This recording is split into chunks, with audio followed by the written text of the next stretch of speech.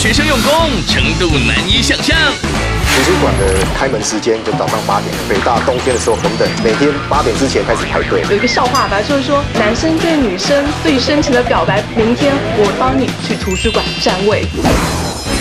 明晚九点，女人好犀利。您现在收看的是超级电视台。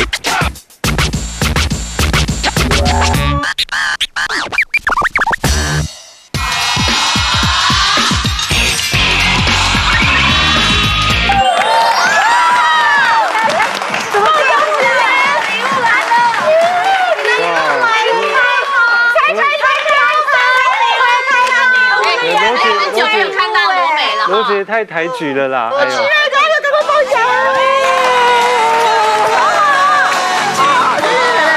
罗姐，原来你真的不是阿富的女朋友。不是，真的不是。快点六块七，等一下拿出来看一下，要不然大家以为我吹牛的。我今天有准备一些给罗姐的。哇首先这个是简单的啦，但因为我想说快冬天了，所以我有做一点这里面有什么东西？红豆糖啦，很简单。话，就要喝红豆汤。应该现在就要喝红豆汤。好感动。简简单的东西啊。他喝红豆汤的时候，要不要帮他按个摩？哎呦，我还有我还有准备一个东西，我回去按呐，回去按。干嘛在这里按呢？还准备一个。因为我想说罗姐应该会很宝贝她的头发，哎呦，所以我帮你带了一个，它是有机的洗发露，它可以让你的发质非常的柔你要帮我。洗头发吗？你刚刚拿拿拿沐浴乳来好了不好？对，我跟你洗澡哎我跟你放在旁边了很。好喝耶。对，那那是给你的，给你我喝还想说，对啊，我还想说会不会太甜不会太甜吗？不会不会不会，好你今天不拆礼物吗？对，拆礼物，拆礼物，拆礼物，拆礼物，拆礼物，拆礼物。我不相信有六块七耶！没有一点点，没有什么是六块鸡？我不知道哎，我只知道六六块炸鸡，麦克鸡块，对。没有没有那么没有那么厉害啦。罗美这样好了，我们这里可能气氛呢啊呃不适合拆礼物，但是那这样，对对对。你跟郭鑫来一段性感热舞，因为我知道他会，嗯。各位各位啊，我先讲哈，好。裙子很短哈，好，你不要以为有意外，里面是安全裤哈，好不要以为看到什么东西啊，对。看完了还是可以去打麻将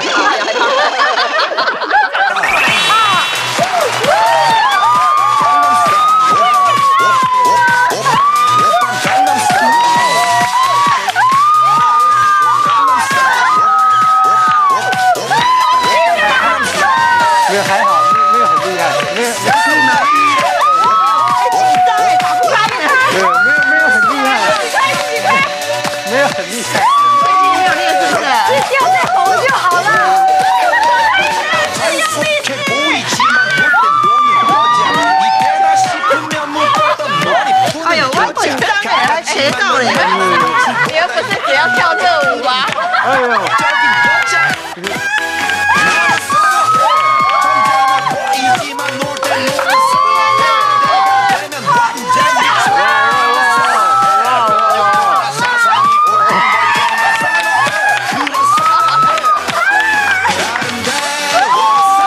啊，我摸啊，吊着你啊，一、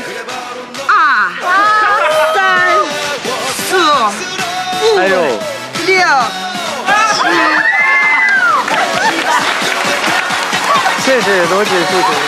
我很想，我很想把它顺便叫。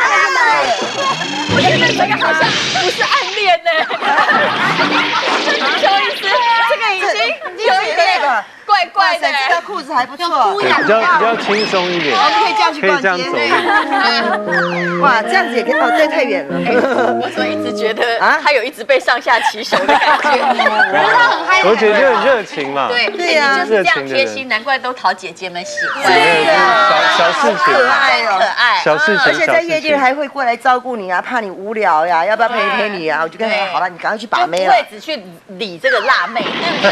对哦。对。对，好了，怎么这么好没有，谢谢谢谢。好，卢姐，怎么做怎么做？你先你先做，你先做。你我做，你先做，你先做，你先做，你先做。哎呀！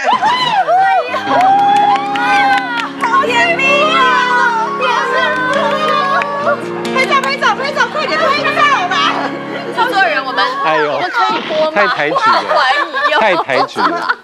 没有怎样，我没有怎样，我比我比我比夜店的辣妹简直是疯狂，只有他们的十分之一，没错，对对？不对？其实没有看到你这样，你又不是叫贾斯汀，我怕什么？哦，也对。对。看到你们，我们也感感觉到相对的满足。好了。棒对呀。那可以轮到下一位性感女神讲了吗？可以可以可以，我只要做这个，我都不用再讲了，这样就好了，这样就好了。太客气。哎呀，换我，其实我有一点害羞，因为就是我其实演艺圈真的喜欢的人不多，就是。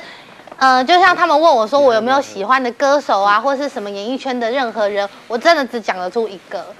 那原因是那时候之前很爱看偶像剧，然后那时候他的主题曲就是那个这个男生唱的，然后我一听到这首歌的时候是被电到的感觉，就是看偶像剧然后被他的声音电到，然后就会觉得置身在里面，我好像是女主角。她有演吗？她没有演，她就是唱主题曲，然后我是听到声音就很惊讶，就觉得这个声音，我觉得我好像前世跟她交往过之类的，就是我那个你见过她的人吗？现在我没有到现在都没有见过，然后。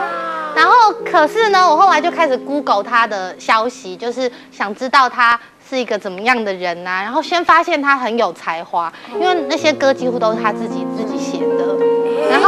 写的以外，他是念美国一个南加大大学大学生这样。然后我我就是很喜欢有才华跟聪明的男生，但是又不能油掉。他看起来就是又清秀，然后我就担心说我们会不会他感觉年纪很小，我就想说啊他会不会比我大，或是小太多之类的。想好对多哦我就想很多自己幻想有很多花这样，然后就发现他跟我同年呢，然后我才差他比我小一个月，但是我们同年出生。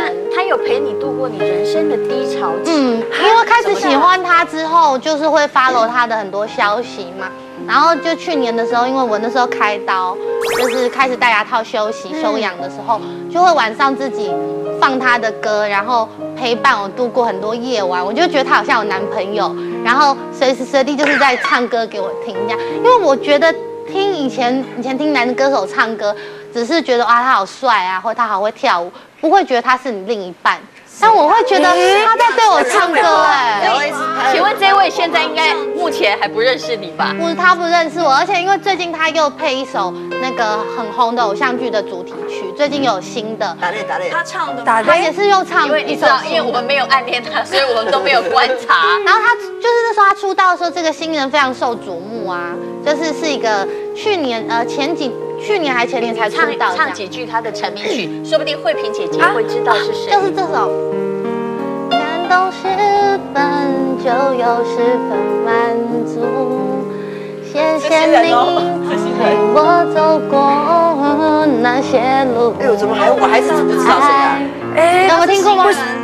不是太大那个哈，他们同时期就是很受瞩目，他们两个。人，哦。然后名字两个字，两个字，嗯 他是叫江宇啦。